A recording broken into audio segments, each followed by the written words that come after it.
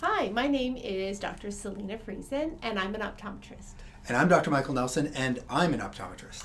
We have two clinics in Winnipeg, Waverley Eye Care and Eyes on Bridgewater. And we have a daughter in optometry school. Today, we're excited to share information about the career of optometry. From years of experience of doing career symposiums, I've anticipated some of your questions today.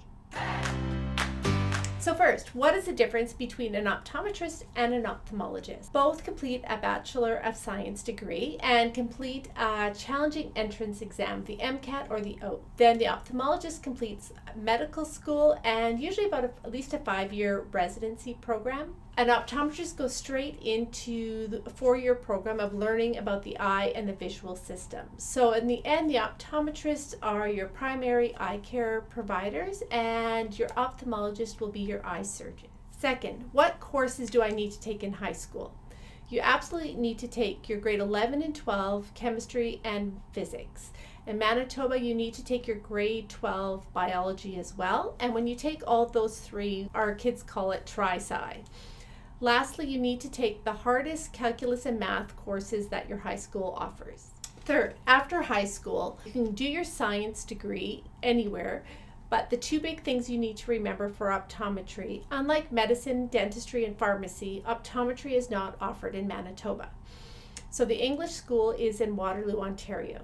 The second thing, which is probably more important, unlike the other professional programs, you absolutely need to do a full course load. Fourth is money. How much does an optometrist earn?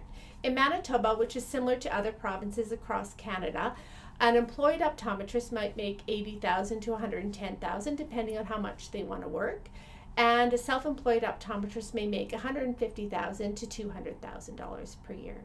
Fifth, moving on to paying for the education. Waterloo is the only English school as I said before, so you need to move there. And my daughter, as we said, is there now, and she pays about $6,000 a year for a three floor townhouse, two bed, two bath, and then her tuition's 18000 you could also go to the U.S. They have many schools down there. Uh, tuition's about two hundred thousand for the four years, which works out right now with the Canadian dollar about two hundred sixty-five thousand. And so, lastly, how does an optometrist spend their day? Like we said before, optometrists are the primary eye care provider. So this means if you have a problem with your vision or your eyesight or an eye infection or anything that might be some type of eye disease, you should probably first see your optometrist. So on any given day, we see a little bit of everything and a little bit of anything. So one thing we'll do is check your vision and your eyesight to make sure you can see as well as you possibly can. And this usually means fitting you with glasses or contact lenses or any other device that might help you see better.